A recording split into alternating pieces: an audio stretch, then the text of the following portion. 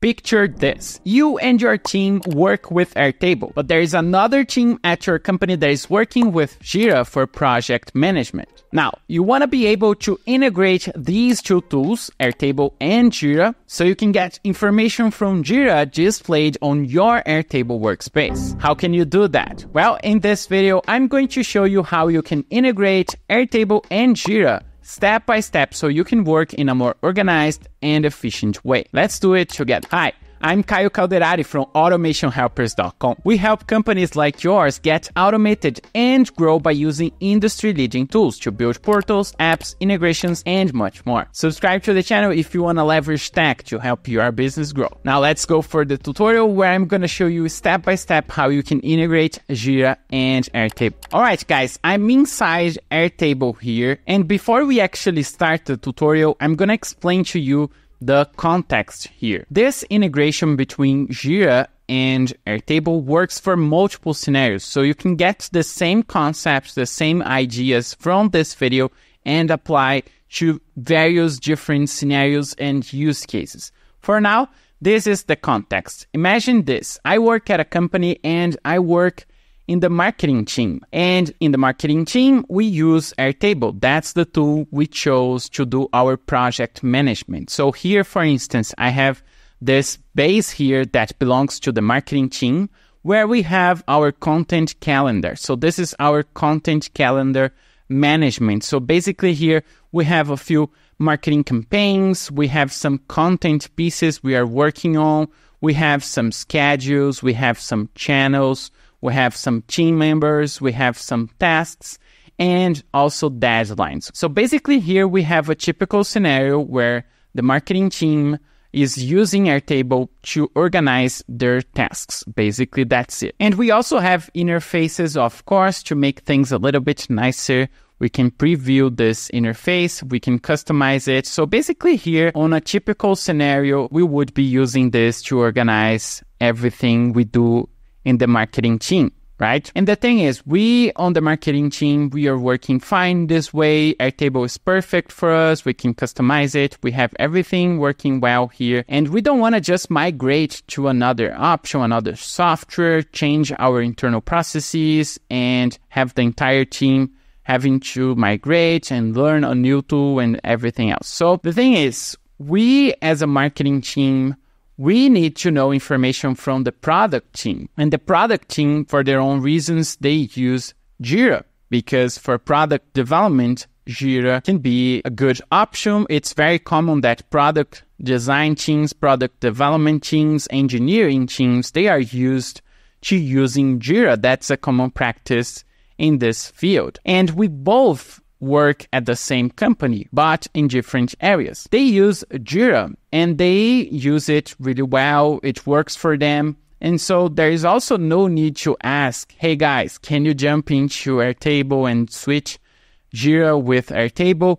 It would work, of course, but well, they are used to their own routines and everything else. So the same problem. We don't want to ask them to just migrate and we don't want to migrate as well. But we need information to work together, to collaborate. But we also don't need a lot of information. We don't need all the information from their Jira. And also they don't want all the information we have stored on our marketing Airtable. We need to know when a new feature they are working on is going to be released or if it's in progress, under review, or even done. So we can add some tasks here to prepare social media campaigns, email marketing, blog articles, everything that is related to what they are developing and will be available on our software soon, right? So we want to have this kind of communication, this internal communication without having to ask them to send emails or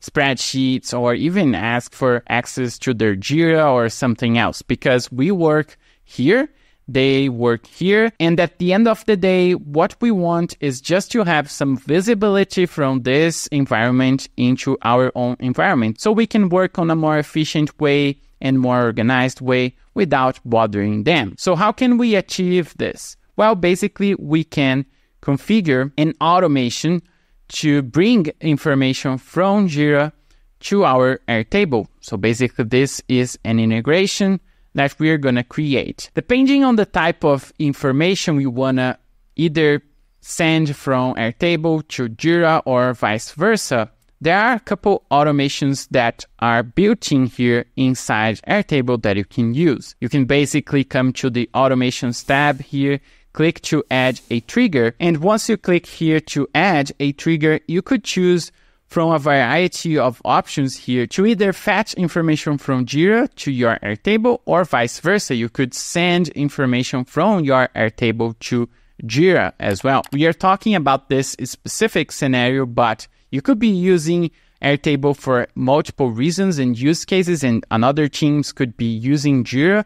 So think about this as Airtable and Jira, not specifically for marketing purposes or this scenario that I'm talking about, but for the tutorial to make things simpler, I'm going to focus on that specific use case. Have in mind that it could be applied to any other use case you have involving Airtable and Jira connections and integrations. Hey, if you need help building a project or if you have any questions, we are here to assist. Visit our website at automationhelpers.com. We are offering free 30 minute consultation calls with our experts so you can get your project done. Visit the link down below and book your call today. Here you have a couple options you can choose when a record is created, when a form is submitted at a scheduled time uh, when a webhook is received. So you could use a lot of options here to create the triggers. So let's say you want to do something every day. You can select days or you can select hours. You can select, for instance, every 24 hours. It will start at this date, at this time, and then it will create an automation that will do this every single day. Okay. Of course, you could choose any other trigger. For now, we are going to use this one just as an example. And the next step is to add an action. Basically here for the trigger, you are defining a condition that once this condition is met, it will trigger and then something will happen after that. And here we are going to define what's going to happen every 24 hours. Once we click here, we can do a bunch of stuff. We can send an email, we can create a new record, update records, find records, run scripts, and we even have some integrations out of the box here. So you can, for instance, send a message on Slack, send a message on Microsoft Teams, send an email through Gmail. You can access the Google Calendar, Google Forms, Google Sheets, Google Docs, and so on. As we can see, we also have Jira built in here available for us. And we have two options here, Jira Cloud and Jira Server. The difference is this.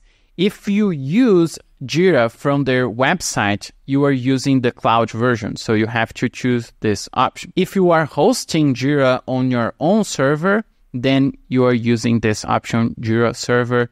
So you should use this option instead. So that's basically the difference. And we have two options here. We have an option to create issues and another option to update issues. So let's say if we want to add information based on what we are doing here on our Airtable account. And let's say we create a new issue here on our marketing Airtable and we want to send this information to Jira and create a new issue for the product team, we could use this option here. So we could choose, for instance, instead of using this trigger here, we could select another type of trigger. For instance, when a form is submitted or when we create a new record, then we select the table where we are going to create this new record. And every time this new record is created, we can actually create a new issue on our Jira account. Now, of course, I have to connect my Jira account. So all I have to do is to click Manage Connected Accounts, create new account, select Jira Cloud. It's going to ask me to log in. Once I'm logged in with my Jira account, I have to click here to accept, and then my account will be connected. And now I can select this specific account. I select the site, then it will pull all the projects that I have. I can select the project and also define which type of issue will be created if it's going to be a task or an epic. In this case, it's going to be a task. And then here, the summary field can get information from the actual base record. And I can actually choose one of the fields from my Airtable base to populate this information inside Jira. So basically here I have to match all the fields that I have inside my Airtable account. And once I do that, I can test this action, run tests, and it will show the information inside my Jira.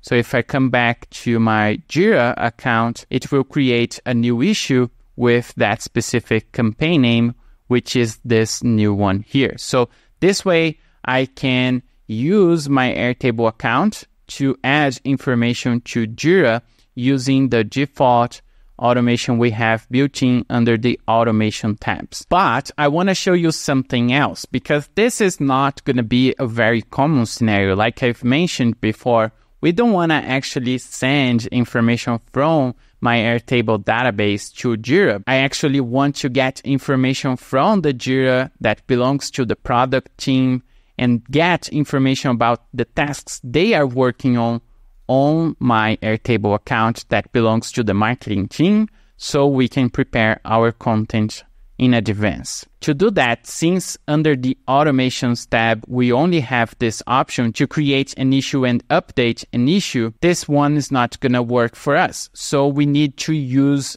another tool to create this kind of automation. That's why we are going to use Zapier. Zapier is an awesome automation tool. We have a lot of videos here on the channel so you can learn how to use it from scratch. So if you want to know how to use Zapier, I recommend you check some of the videos we have here on the channel. We have a full playlist you can watch to learn a little bit more about Zapier as well. We are going to use Zapier right now to create a new automation that will do this job for us. It will get information from Jira and send this information to our Airtable base. So let's create this automation together. The first step is to click here, create. We are going to click here, zap. And here I'm going to choose a trigger.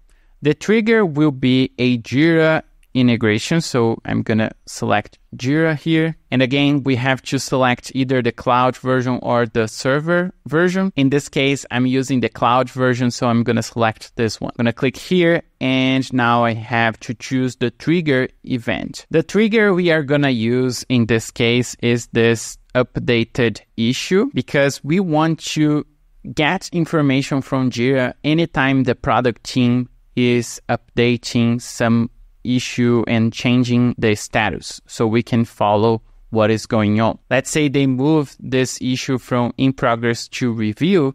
This will trigger our condition here and then we are to get this information and add this information to our Airtable base. So we don't actually need a trigger to add information to our Airtable base every time they create a new issue because since they are using a Kanban board, they are to move this issue anyways and it will update the status. And we only need to know when they are actually moving this feature to be reviewed or even done because we don't need to know when they are actually planning to work on that specific feature because we only need to work on the content when the feature is actually close to be released. So if you need something different, you can create multiple zaps to track when an issue is updated and once it's created as well. So basically, you can create other triggers and other automations as well. But for now, we are going to just create this one. So every time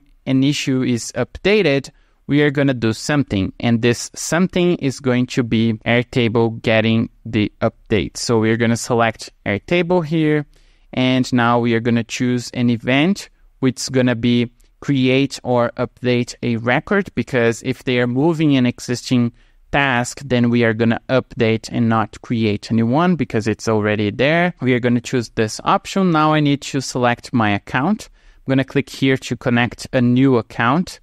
And then this pop-up window will show up. I have to select my marketing base. So I'm going to click here, grant access and now I have this integrated. Okay, now the next step is to connect the information we are getting from Jira into Airtable. Now let's go back into Airtable for a second before we do that because this is important. We have here a lot of tabs, right? We have marketing campaigns, tasks, deadlines, everything else. If we want to, we can bring this information into an existing tab here we are using, but we could also create a new one just to know information from the marketing team. So I'm going to create a new one, start from scratch, and I'm going to call this one product team Jira. Now I have here a couple fields that come by default. I'm going to just delete them. I'm going to keep the name and status. So this one I'm going to call task name. We are going to have some status and we are going to have also due date which is going to be a date field. Okay. Now, this is the structure that we are going to use to receive data from Jira. Depending on how much information you need, you will create specific fields to receive that information from Jira. For this quick example, I don't need a lot of information, so I'm going to just create these ones, for example. Hey, my friend, if you're enjoying this content so far, click the like button down below. Subscribe to the channel to keep learning more about tech and automation. So once I have this table here, I'm going to delete some empty fields that come by default select them and delete them all. And now I'm ready to go back to Zapier. Here I have to select the base that I want to use. In this case, it's showing here the marketing content calendar management base, which is the exact one that I want to use. The table now, do I see the new table that I created? Yes, the product team Jira table. Okay. The next step is to select a lookup field. In this case, it can be the task name. And the secondary lookup field is not needed, but if needed, we can select maybe the status. And here the task name is going to be now the information that we get from the Jira project. It's asking me to test this trigger just to pull in some example data. I'm going to test this. I'm going to select any of these options, continue, click continue. Now I can select some sample data coming from Jira. Now here I want to get the task name, right? So I see here some suggestions already field issue type name and field summary. Now, if I check here inside Jira, I can check some of these tasks so I can know what's going on. So I have new feature example, AI features, and so on. So it seems it's getting this AI features one. So I can select this fields summary option because it's going to give me the task title. So basically here you have to search for the items that will give you the information you are looking for. In this case, I'm looking for the task name. So I have to check if there are fields here that will provide me with this information. The AI Copilot helped me with this one, and I think this one is going to work. For the status, I'm going to search status here using the search bar, and I can see here the field status name is review. So this one looks okay. For the due date, I'm going to search here the word due date, and then I will find the field that matches this. So I'm going to select this option here, due date, and click continue. Now I'm going to test this step. This one is not bringing any data. I'm going to check this in a second. Now let's go back to our table and see what's happening. So we got the task name AI features, the status is under review, and the due date is empty. Okay. Now, here inside Jira, you will have different fields, right? So in this case here, I have a custom field called due date, and I can pick different dates here. And once I move this task, it should update information on my Airtable base so if I move this to in progress, it should update my Airtable base. Now, have in mind that some zaps do take some time to load after they trigger. So sometimes it will take a couple minutes until you actually see the information being updated on your Airtable.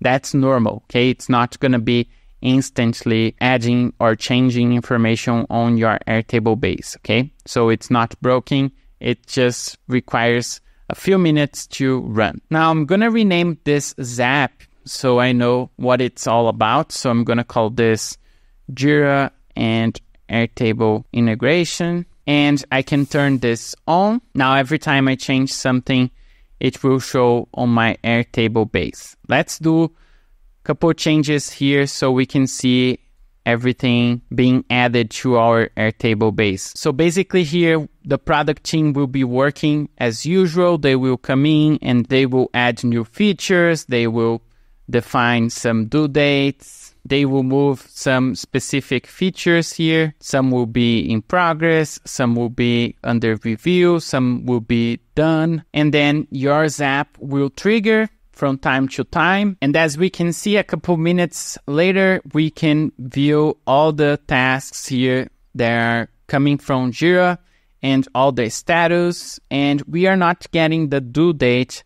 And I'm going to show you how we can fix that. So I'm going to click here to edit this field because I haven't mapped this correctly. So I'm going to look here under due date this field is not bringing any data. And so I can get this option here, which seems to be pulling the information that I want. And now I'm going to click continue, publish. I'm going to give it a name that is different because now we have a new version. We're going to click publish. Now, another way to force your zaps to run is by clicking this little button here to run it so you can test it faster so you don't have to wait until it actually triggers. We are going to come here on the Kanban board once again, and we are going to do a few changes here. I'm going to delete this one. I'm going to add uh, example issues and I'm going to move some issues around. I'm going to add some due dates. So basically the product team will be working as usual, moving tasks, adding new tasks. And once you go back to your Airtable base on the marketing team, you're going to see all the tasks, the statuses, and the due dates. Of course, some of these tasks do not have a due date coming from Jira. So if they don't define a due date on a specific task, then it means it will not be visible here as well because this information was not defined. But if it's defined, it will come to the Airtable base as usual. Now you can add extra fields. You can also customize inside Jira how it will look like and all the data that is available. You can get the description and everything else. Of course, this is just a quick and simple example so you can see how this works. Once you're done building your zaps, just make sure it's on and it will automatically run every time someone makes a change or updates anything inside Jira.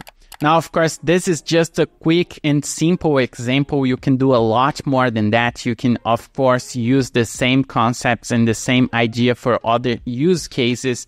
And if you want to build more complex types of applications and integrations to help you and your team work better and more efficiently, we can help you build these kinds of integrations and automations and also portals and apps. So make sure to reach out to us, book your free 30 minute consultation calls with our experts, and I'm sure we'll be able to help you get your project done. I hope this video helped you and your team work better and faster. And I'm very curious to know what kind of automations you're doing. Let me know in the comment section down below. Now, if you want to keep learning more about tech and automation, we have a lot more content for you here on the channel. So make sure you keep watching more videos we've prepared just for you. Thanks for watching and I catch you on the next one. Let's automate your business you